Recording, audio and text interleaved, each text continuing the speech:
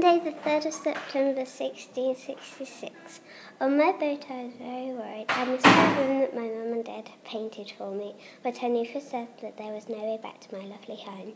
I began to cry. In the distance, I could see my house burning into the flickering, fiery flames.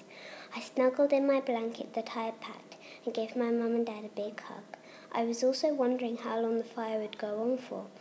At that moment I saw, well, I thought I saw, no, it couldn't be, King Charles II? Yes, I saw King Charles II riding on his horse carrying a water squirter.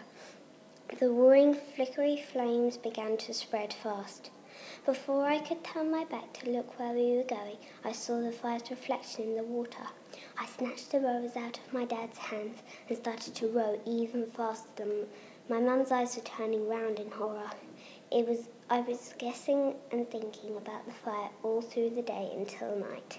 Then I started to Tuesday, the 4th of September 1666.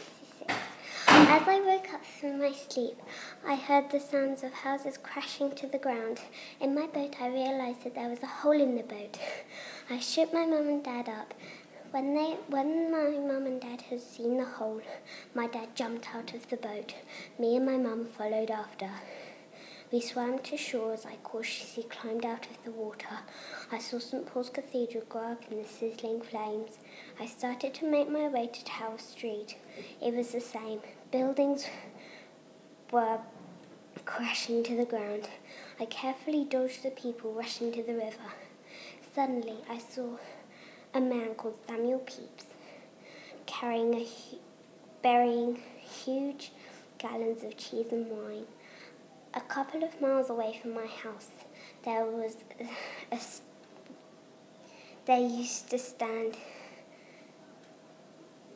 that used to stand were a pack of giant shovels that gave me a spectacular idea.